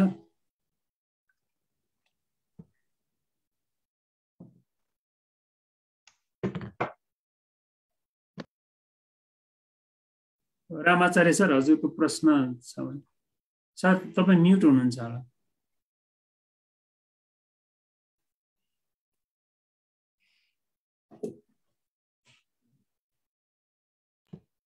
नमस्कार मेरो त म्युट भएछ। समयको लागि धन्यवाद। सरलाई सर्वप्रथम त बधाई एकदम राम्रो प्रस्तुति दिनुभयो र यो मौका दिनुभएकोमा धेरै धेरै धन्यवाद। हामीलाई सुन्नुभयो। यो विश्वविद्यालयको बारेमा अब यहाँ हामीले भन्ने र साध्य लाग्दैन किनभने हामी यहाँ धेरै जति पनि हामी यहाँ जोडिएका छौँ जम्मै विदेशी विद्यालयहरूमा एउटा चाहिँ यस्तो किसिमको पद चिन्ह छोडेका विद्या विश्वविद्यालयमा पढेर आएका छौँ र राम्रा विश्वविद्यालय कस्ता हुन्छन् भन्ने त हामी सबैलाई थाहा छ। तर राम्रो विश्वविद्यालय कसरी बनाउने भन्दा पनि राम्रा विश्वविद्यालय कसरी भत्काउने भन्ने किसिमको पो हाम्रो चाहिँ यहाँको अहिलेको ट्रेन्ड त्यस्तो देखिन गयो। अब यसमा त्यो भनेर हामी निराश भएर बस्नुभन्दा कुनै अब कुनै एउटा तबकाले एउटा कुरा सोच्ने हो कि यो जुन भेसी बन्ने मान्छेहरूलाई बरु एउटा त्यस्तो किसिमको फोरम बनाएर तिनीहरूलाई ट्रेन गरेर कसरी लग्ने त? भन्ने एउटा पाटो अब अघि नै निलकमल सरले भने चाहिँ यो त एउटा एकदम आलङ्कारिक पोस्ट हो। त्यता जो लगे पनि हुन्छ। तर हुनुपर्ने त व्यवस्थापन हो। अब व्यवस्थापनका मान्छेहरूलाई ट्रेन गरेर अब युनिभर्सिटी चलाउने खालको त्यो व्यवस्थापन धान्ने खालका मान्छेहरूलाई नै एउटा चाहिँ बल्ल फोरम बनाएर ट्रेन गर्दै गर्दै लगेर कुनै पनि मान्छेले एकैचोटि गएर औरात आज के अरे उसको पार्टीको पछि लाग्दा लाग्दै भोलिपल्ट गएर भिसी भएका जति छन् त्यो हुनुभन्दा त पहिल्यै ट्रेन गरेर पार्टीमै लागु न ठिक छ। ट्रेन भएका हुन्न सबै पार्टीका मान्छेहरूलाई ट्रेन गरौँ चारजना एउटा पार्टीबाट गरौँ चारजना अर्को पार्टीबाट गरौँ उनीहरूका पार्टी जहिले जहिले आउँछन् तिनले जाउँ। तर क्वालिफाइड मान्छे त हुन्न भाइ केही फरक परेन नि? यहाँ त के भयो भने यस्ता यस्ता लङ्गुरहरू चाहिँ जान्छन् कि त्यो गएपछि भत्काउनु भन्दा बाहेक अरू केही पनि जान्दैन। होइन? अब यो चाहिँ एउटाले स्थापना गरे जस्तै टिभीमै भने नि अब जस्तै माथेमा सरले स्थापना गरेको त्यो चिजलाई पनि हामीले चाहिँ सम्हाल्न सकेनौँ र हामी हुर्किँदाखेरि त्यो त्रिवीको जुन जुन रूप थियो त्यो रूप अहिले आउँदाखेरि चाहिँ कस्तो अचम्म लाग्छ कि अहिले त भूत बङ्गाल त्यस्तो चिज चाहिँ अहिले हामीले यस्तो बनाएर फ्याँकिसक्यौँ कि अनि यतातिर बहस चाहिँ गर्न हामी पछि पर्दैनौँ। विद्वत वर्गहरू चाहिँ मतलब बाहिरबाट चाहिँ विदेशी सहयोग ल्याउने बनाउने बनाएर के को लागि बनाऊ? बनाएर फेरि भत्काउनेकै लागि बनाउने बनाउने किन? होइन त्यहाँ त कम सहयोग आएर बनेको त होइन। भनेपछि आफ्नो पसिनाले नबनाउनेसम्म त्यो जबसम्म हाम्रो त्यो भावना आउँदैन हामीभित्र तबसम्म हामीले कहिले पनि गरेर खाँदैनौँ कहिले पनि हाम्रो यो विश्वविद्यालय माथि जाँदैन। हाम्रो सोच बदल्नु पर्यो कसले कुन तब्कामा गएर सुरु गर्ने हो यो चाहिँ एउटा अब यो अन्तर पार्टीभित्र गर्ने कि होइन? यो सम्बन्धमा विशेषज्ञहरूले के गर्ने त आखिरीमा? यो पढे लेखेका मान्छेहरूले गऱ्यौँ के र कहाँनिर गएर हामीले चाहिँ त्यो मार हान्ने? यो कुरामा चाहिँ हामीले एकदम सोच्नै पर्ने जस्तो लाग्यो। यसमा सरको टेक के छ होला? एकपल्ट चाहिँ बताइदिनु भए आभारी हुन्थ्यो सर। धन्यवाद समयको लागि धेरै धेरै धन्यवाद। ज्योतिजी तपाईँ हुनुहुन्छ? ज्योति गिरिजी ए हजुर। ल एकदमै छोटो प्रश्नको लागि एकदम छोटो सर। प्रश्न भन्दा पनि म केही कुरा चाहिँ जानकारीमा जस्तो हाम्रो ट्युको विषय चलेको भएर म पनि ट्युमा नै जोडिएको भएको हुँदा मैले केही कुरा चाहिँ राख्न चाहेँ। जस्तो भिसी त हामीले भनिरह हुन्छौँ आलङ्कारिक हो यो सबै चिज भनिरह हुन्छौँ। तर त्यो भिसीसँग पनि जोडिएर जो व्यक्तिहरू आउनुहुन्छ नि पोस्टमा लिएर उहाँहरूको कार्य उहाँहरू जुन तरिकाले काम गर्नुहुन्छ त्यो सम्बन्धमा चाहिँ मैले दुई चारवटा कुराहरू जोड्न चाहेँ। किनभने उहाँहरूको एक्टिभिटिजले हामीहरूलाई त्यस्तो खालको इम्प्याक्टहरू दिने हो। आजभन्दा एक डेढ हप्ता अगाडि होला। हाम्रो आइओएसटी डिनले चाहिँ पिएचडी डिफेन्सको लागि डेट तोक्यो। क्यान्डिडेट आफ्नो पूर्ण तयारीका साथ लुगा युनिफर्म लगाएर चाहिँ आउनुभयो। त्योभन्दा अगाडि पनि उहाँलाई दुई तिनचोटिसम्म पनि उहाँलाई त्यसरी चाहिँ इन्भाइट गरिएको थियो तपाईँको चाहिँ ऊ छ है भनेर। अनि तर उहाँलाई अरू बेलामा चाहिँ एक दिन अगाडि इन्फर्म हुन्थ्यो भोलि तपाईँको हुन्न है भनेर। तर अस्ति त अन स्पटमा उहाँ पुरा तयारीसहित जानुभयो। र हाम्रो डिनबाट चाहिँ के आयो भन्दाखेरि चाहिँ त्यहाँनिर उहाँ सबैजना मान्छे लिएर जम्मा भएर डिफेन्स गर्न जानु हुँदाखेरि चाहिँ कुर्दा कुर्दा लास्टमा चाहिँ तपाईँको डिफेन्स हुन नसक्ने भन्ने खालको उहाँलाई भनेर फिर्ता पठाइयो। उहाँ कलेजबाट छुट्टी लिएर जानुभयो। त्यति एउटा सानो एउटा डिफेन्स गराउने पर्ने जो चाहिँ हामीहरूको अहिलेको डिन हुनुहुन्छ उहाँ पनि कुनै समय यस्तै हाम्रो फोरमहरूमा भेटिनुहुन्थ्यो र उहाँले पनि धेरै आदर्शका कुराहरू गर्नुहुन्थ्यो। र उहाँले त्यति सानो एउटा डिफेन्स गराउने उहाँको अधिकारभित्रको चिजलाई पनि उहाँले गराउन सक्नु भएन। अब त्यसमा के कसो उहाँको अधिकार क्षेत्रभित्र पर्ने नपर्ने होइन? अनि उहाँको रिजन के भन्दाखेरि तालाबन्दी भन्ने नै कुरा गर्नुभयो कि? उहाँले रिजन के भन्दा तालाबन्दी छ भित्रबाट माइनर बुक झिक्न सकेन त्यस कारणले माइनर बुकै सबै चिज थियो होला र त्यो गर्नका लागि यस्ता यस्ता सानो चिजले चाहिँ त्रिभुवन युनिभर्सिटी चाहिँ अड्केको म एउटा जानकारी के गराउँछु भने म पनि आंशिक थिएँ म पनि त्यो तालाबन्दीको उसमा चाहिँ परेर होइन हामी पनि त्यो आन्दोलन बासठी त्रिसाठीको आन्दोलनमा म पनि थिएँ सर म सरलाई फ्या फ्रेङ्कली भन्छु हामीलाई जुन चाहिँ प्राध्यापक भन्छन् है अहिले पनि भन्छन् तर सर म खुलामा पनि मैले सबै कुरामा चाहिँ नाम निकालेको हुँ खुलादेखि लिएर। अनि आन्तरिकमा पनि निकालेको। अनि मैले के भने भन्दाखेरि म मलाई यत्रो धेरै इन्सल्ट गरिसकेपछि म चाहिँ खुलाबाट चाहिँ म मेरो नियुक्ति लिन्छु भन्दाखेरि मलाई दिएन। अनि म लगभग मैले टु थाउजन्ड ट्वेन्टीमा मैले चाहिँ सकाएको टु थाउजन्डमा मैले चाहिँ मेरो मास्टर्स सकाएको। त्यस पछाडिको भ्याकेन्सीहरू खुल्दाखेरि मैले कहिले पनि एप्लाई खुल्दै खुलेन भ्याकेन्सी नै खुलेन। एकचोटि मैले सकिने बित्तिकै खुल्यो त्यस पछाडि बिचमा खोल्यो। त्यसरी भ्याकेन्सीको पनि एउटा कुराहरू चाहिँ आउँछ होला सर कुन समयमा चाहिँ खोलेर जाने भनेर। अब मारमा परेको मान्छे त मारमा पर्छ। अनि मैले लास्टमा चाहिँ मेरो डिपार्टमेन्टमा म सेन्ट्रल डिपार्टमेन्टमा गएर चाहिँ के भने भने अबको पालि भ्याकेन्सी निस्किँदाखेरि मेरो नाम निस्किएन भने म देश छोडेर जान्छु भने मैले। मेरो सिनियर प्रोफेसरहरू हुनुहुन्थ्यो म देश छोडेर जान्छु म फर्केर यो मुलुकमा आउँदिनँ भनेको थिएँ मैले। अनि त्यसरी चाहिँ हामीहरूको पीडाहरू यो प्राध्यापकहरूको पीडाहरू पनि छ विद्यार्थीहरूको पीडा त्यस्तै छ सर। मैले यो कुरा चाहिँ यहाँनिर राख्न चाहेको किनभने कति व्यक्ति चाहिँ ठाउँमा होस् उसले चाहिँ त्यतिखेर पोजिसनमा बस्नुभन्दा बाहिर एउटा कुरा हुन्छ। पोजिसनमा गइसकेपछि चाहिँ त्यो thank you thank you doctor Jyoti faculty हुनुहुन्छ टियुको हस् धन्यवाद।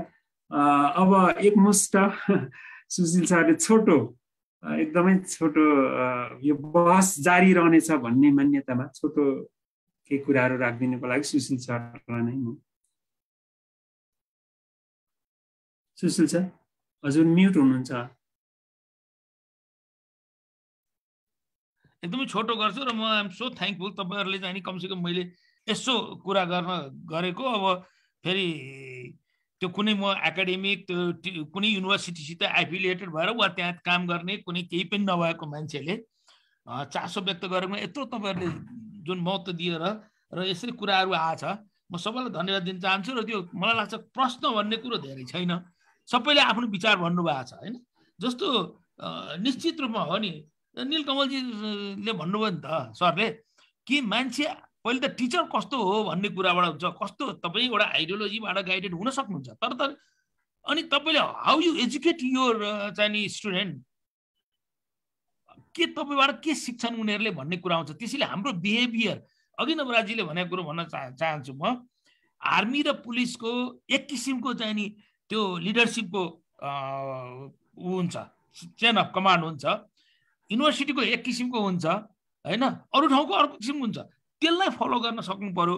तर हाम्रो चाहिँ नि युनिभर्सिटीको युनिभर्सिटी जस्तो भएन। अहिले भर्खर चाहिँ नि हाम्रो ज्योति म्यामले भनेको कुरो त्यही नै हो। पीडा हेर्नु जताततै छ। त्यो भनेको चाहिँ के हो भने मलाई लाग्छ त्रिरत्न मानन्द सरलाई अस्ति नै हामीहरूले एउटा एउटा यही प्रोग्राम पनि यसै गरी गरेका थियौँ। त्यो चाहिँ नि दस आठजना बसेर कुरा गर्ने अनि फेसबुकबाट पनि गरेका थियौँ। त्यहाँ उहाँलाई बोलाएको थिएँ। मैले रिक्वेस्ट गरेर आउनुभयो उहाँ अनि उहाँले आएर के भन्नुभयो भने हेर्नुहोस् कुनै बेला थियो म जतिखेर त्रिभुवन विश्वमा भर्खर पस्दाखेरि त्रिविको टिचर भन्दाखेरि एकदम गर्व हुन्थ्यो। अहिले त्रिवीमा म थिएँ भन्दाखेरि लाज हुन्छ म भइसक्यो त्यो भन्न चाहन्न भन्नु उहाँले। हेर्नुहोस् है। मतलब के भने उहाँ जस्तो सिनियर मान्छेले त्यो भन्नुपर्ने स्थिति आयो। त्यसैले मलाई लाग्छ अहिलेसम्म जे भयो त्यसमा हामीहरूले धेरै लेसन पनि लर्न गरिसकेका छौँ। हामीसित एक्सपिरियन्स के भयो भन्ने कुरा छैन। कुरो कहाँ बाँकी छ भने यो तपाईँहरू जस्तो संस्थाले म फेरि पनि सरहरूलाई अनुरोध गर्न चाहन्छु कि हामीहरूले पनि अब जोरदार रूपले आवाज उठाउने मात्रै होइन त्यसको लागि अगाडि बढ्नु पर्यो र जहाँसम्म पोलिटिकल पार्टीहरूले यसलाई ध्यान नदिकन चाहिँ हुँदैन अहिले हामीले देखिरहेका छौँ। कि विभिन्न पार्टीहरूमा नयाँ चाहिने मान्छेहरू पदाधिकारीहरू पनि आएका छन् र तिनीहरू पनि कुनै न कुनै रूपमा टियुसित भएर आएका छन्। जस्तो कम्तीमा पनि उसको के अरे कङ्ग्रेसको एमालेको जो चाहिँ एक्जिक्युटिभको तल भनौँ न चेयरभन्दा तलतिरको महामन्त्री भन्नुहोस् महासचिव भन्नुहोस् अरू पनि भन्नुहोस् अरू पनि छन् र अरू पार्टीहरूमा पनि। अब हामीहरूले त्यहाँनिर त्यो एउटा युनिभर्सिटी सिस्टमकै बारेमा फेरि पनि म भन्छु है उच्च शिक्षालाई कसरी इनोभेटिभ बनाउने कसरी चाहिँ ज्ञान आर्जन गर्ने ठाउँ बनाउने र कसरी डिसिप्लिनभित्र राख्ने? त्यो कुरामा चाहिँ हामी कुरा गरौँ। अब युनिभर्सिटीमा चाहिँ नि सुर शान्ति सुरक्षा गर्न पुलिस चाहिन्छ ताला फोड्नुपर्छ ताला लाग्छ। अब अहिले पिएचडीको कुरा मैले यो कुरा सुनेको थिएँ। कि यस्तो यो बाहिर पनि म धेरै चासो राख्नु हुनाले मलाई थाहा थियो डक्टर ज्योतिले जे भन्नुभयो त्यो कुरा। भन्दाखेरि यो एउटा स्टुडेन्टले जसले पिएचडी आफ्नो चाहिँ नि डिफेन्ड गर्नु भनेर जान्छ उसको लागि त पिएचडी पाउनु भनेको त ठुलो कुरो ठुलो ड्रिममा ऊ चाहिँ नि छ आफ्नो चाहिँ नि फुलफिल होस् भनेर। अनि त्यसलाई तपाईँ चाहिँ खुरुक फर्की भनेर भन्नुहुन्छ नि कत्रो अन्याय हो। भन्नुहोस् त यसरी हेरौँ त हामी ह्युमन राइटको म त आफू कुरा गर्छु हामी सबै ह्युमन राइट डिफेन्डरहरू हौँ एकाडेमिक फ्रिडमको कुरा गर्छौँ अनि राइट टु एजुकेसनको कुरा गर्छौँ अनि यहाँनिर त्यहाँनिर हाम्रो अन्याय होइन र यो यो इन्जस्टिस होइन र। त्यसलाई यसलाई चाहिँ हामीले हेरेर मलाई लाग्छ मैले त्यस्तो एन्सर गर्ने कुरा छैन तर मेरो भनाइ के भने लेटेस्ट कम टुगेदर ल अब कसले अघि उहाँले सुरुमै भन्नुभएको थियो नि खतराजी के विल बेल द क्याट भन्ने कुरा। हामी तयार हौँ भन्ने मेरो भनाइ हो सर त्यति हो। धेरै धेरै धन्यवाद सरलाई। अब सरले यसरी हामीलाई झकझकाउनु भएपछि सरकै नेतृत्वमा अब हामीले यो बहसहरू अगाडि बढाउनु पर्ने जस्तो देखिन्छ। म नवराज सरलाई आजको बहसको लाइन मेसेज के हो र अब हामीले कसरी अगाडि बढ्नुपर्छ भन्ने अन्तिममा कुरा राखिदिनको लागि म अनुरोध गर्छु। नवराज सर वान मिनट हस् वान मिनट भन्नु म वान लाइन होइन वान मिनट चाहिँ सदुपयोग गर्छु तपाईँको। किन वान मिनटमा वान लाइन भन्न बडो गाह्रो छ होइन? त्यसमा धेरैवटा कमाएर तपाईँको ऊ राख्नुपर्छ। अब सबभन्दा पहिला धेरै धेरै धन्यवाद जय सर र फेरि पनि सुशील सरलाई। आज हजुरले एउटा किता छुट्याइदिनु भएको छ। यो बहसको यो छलफलको महत्त्व छ भन्ने कुरा। त्यो हुनाले हजुरलाई धेरै धेरै धन्यवाद। र म सबैभन्दा पहिलो के भनौँ भने टेक होम मेसेजमा सबैभन्दा पहिलो त यो बहसको यो छलफलको महत्त्व छ। यसले केही न केही तपाईँको चाहिँ नि उत्पादनशीलता यसले ल्याउँछ। र काहीँ न यसले योगदान पुऱ्याउँछ भन्ने कुरामा म विश्वस्त छु। सायद यहाँले पनि त्यही विचार गर्नुभएको होला। त्यो हुनाले अर्को यसको मुख्य फाइदा के हुन्छ त भन्दा अब यो हाम्रो उपकुलपतिज्यू अथवा तालाबन्दी गर्ने जो मान्छे हुनुहुन्छ उहाँहरूका यो सन्देश पुग्छ। कुनै न कुनै तरिकाले यो पुग्छ किनभने त्रिभुवन विश्वविद्यालयकै धेरैजना यहाँ हाम्रो चाहिँ प्राध्यापक महोदयहरू यहाँ हुनुहुन्छ। र मेरो भनाइ के भने त्यसकारण एउटा सम्भवतः यो विश्वविद्यालयले भनेको पैसा तिरेपछि त्यो विद्यार्थीले अन्तर्राष्ट्रिय स्तरको किनभने अघि उहाँ भन्नुभयो सर विश्वविद्यालय हो। होइन? अन्तर्राष्ट्रिय स्तरको एउटा चाहिँ नि उसले ज्ञान पाउनु पर्यो। त्यो खालको उसले चाहिँ नि ज्ञान आर्जन गर्न पाउनु पर्यो। अदरवाइज सुशील सरले भन्नुभयो जस्तो मानव अधिकार भनन भयो। के उसले विश्वविद्यालयले भनेको पैसा तिरेको छ? त्यो समय उसले दिएको छ होइन? र यस्तै विश्वविद्यालयले तोकेको योग्यता पुरा गरेर डक्टर ज्योति गिरी र लगायत उहाँहरू विश्वविद्यालयमा आबद्ध हुनुहुन्छ। त्यो समय दिइरहनु भएको छ। भनेपछि उहाँको पदोन्नति किन नहुने? उहाँको तपाईँको चाहिँ नि एउटा स्थायी एउटा सेवामा स्थायित्व किन नआउने भन्ने पनि अर्को प्रश्न हो। त्यहाँ पनि मेरो विचारमा मानव अधिकारको हनन भएको छ जस्तो मलाई लाग्छ। त्यो कारणले गर्दा यो दुइटै पक्षसँग हामी एउटा म सुशील सरलाई हार्दिक अनुरोध गर्छु गणेश सर यहाँ हुनुहुन्छ हामी एउटा समूह बनाऊ तिन चारजनाको र दुवै पक्षसँग हामी कुरा गरौँ होइन? उपकुलपति ज्यूसँग पनि कुरा गरौँ। त्यसपछि हामी चाहिँ तालाबन्दी गर्ने हाम्रो समूहसँग पनि कुरा गरौँ र यसबाट हामी कसरी समाधान निकाल्न सक्छौँ? दुवै पक्षलाई हामी के सहयोग गर्न सक्छौँ? एउटा बाटो त्यो तय गरौँ जस्तो मलाई लाग्छ। र त्यो कारणले गर्दाखेरि मेरो विचारमा किनभने हामीसँग नेपाल आर्बिट्रेसन काउन्सिल आर्बिट्रेसन गर्ने पनि मध्यस्थता परिषद जस्ता संस्थाहरू पनि छन्। सम्भवतः यिनीहरूले अलिकति रोल प्ले गर्यो भने मेरो विचारमा यो दुईटा पार्टीको बिचमा जुन एउटा सङ्घर्ष भइरहेको छ अन्तर्विरोध भइरहेको छ र मानव अधिकार आयोग जस्तो जुन संस्था छ यसले पक्कै पनि यहाँले चाहिँ यो नेतृत्व लिन सक्नुहुन्छ र हामी चाहिँ नि एक आपसमा जुटेर गरौँ। किनभने एउटा कुरा म भनौँ अमेरिका जापान लगायत विश्वविद्यालयहरूमा त्यो विश्वविद्यालयको सबैभन्दा ठुलो शक्ति भनेको अलमनाइ हो। पूर्व विद्यार्थी हो। सुशील सरले अघि भन्नुभयो कि हामी सबै विश्वविद्यालयमा एउटा कुरा गरेको छु। त्यो कारणले गर्दा यो त्यहाँको त फन्ड रेजिङदेखि लिएर सबै काम पूर्व विद्यार्थीले गर्छ। त्यो हुनाले हाम्रो पनि एउटा दायित्व हो। त्यस कारण त्रिभुवन विश्वविद्यालयका सम्पूर्ण पूर्व विद्यार्थीहरूलाई हामी आह्वान गरेर यो लगायत अरू विश्वविद्यालयहरूको पनि हामी चाहिँ एउटा सुधार गर्ने कुरामा हामी अघि बढौँ र हामी सहकार्य गरौँ भन्दै मेरो विचारमा मूल सन्देश आजको कार्यक्रमको यही हो भन्ने मलाई लाग्छ। यति भन्दा धन्यवाद। धन्यवाद डक्टर खतिवडा। एकदमै राम्रो समराइज गरिदिनु भयो र हाम्रो एउटा टास्क फोर्स अथवा समूह बनाएर अगाडि बढ्ने त्यसको लागि हाम्रो यो मञ्च सहजीकरणको लागि रेडी छ। र आज उपस्थित सम्पूर्ण विद्वत वर्गहरू यसको सदस्यताको रूपमा सहयोग र योगदान गर्नु हुनेछ भन्ने हामी चाहिँ चाहिँ आशा गर्छौँ। र आजको कार्यक्रममा सहभागी भएर हाम्रो प्रस्तुति गरिदिनु भएको उहाँ सुशील सरलाई श्रेय हाम्रो सरलाई एउटा सर्टिफिकेटबाट सम्मान पनि गर्न चाहन्छौँ।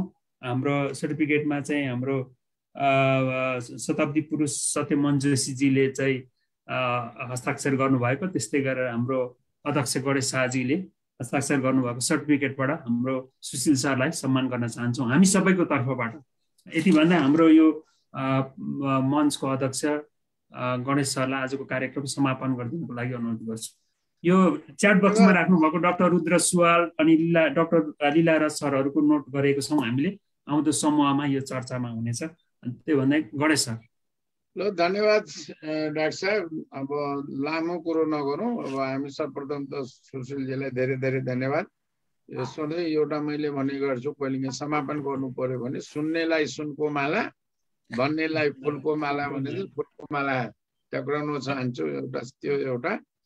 दोस्रो के छ भने यो अभियानलाई एउटा निरन्तरता दिनुपर्ने आवश्यकता छ जस्तो लाग्छ धेरै विषयवस्तु आएको छ धेरै थरीको मोडेलिटिज अब के छ भने म कहिले हामी जुन एजमा छौँ यो एक्काइसौँ शताब्दी नेपालको सङ्घीय लोकतान्त्रिक गणतन्त्र नेपाल यो डिजिटल रिभोल्युसनको र यो सबै बेलामा चाहिँ यो ग्लोबलाइजेसनको भनौँ यो सबै बेलामा चाहिँ भोलिको आगामी दिनको उच्च शिक्षालाई कुन किसिमबाट अगाडि बढाउने भने त्यो हामी सबैको साझा दायित्व जस्तो लाग्छ। यसलाई चाहिँ नेसनल एउटा मिसनको रूपमा अगाडि बढाउन सक्यो भने यसले चाहिँ एउटा किनभने हामी यसले पनि हार्डवर्ड र अक्सफोर्डको कुरो मात्र संसारभरिमा गरिरहन्छौँ भनौँ न।